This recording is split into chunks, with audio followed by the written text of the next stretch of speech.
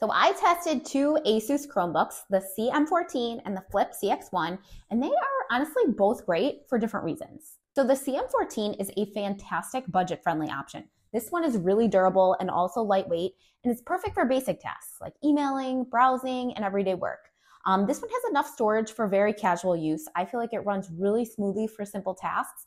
But if you tend to open a lot of tabs or you want something a little faster, you might notice some slowdown. This one also does come with a traditional mouse. Now we have the Flip CX1, which takes it up a notch. This one is faster and it has double the storage, so you don't have to worry as much about running out of space if you're someone who downloads a lot of photos or pic or files. This one also is touchscreen and it also has the two-in-one design that makes it a little bit more versatile. So whether you're working or watching videos, you can really use this one for everything.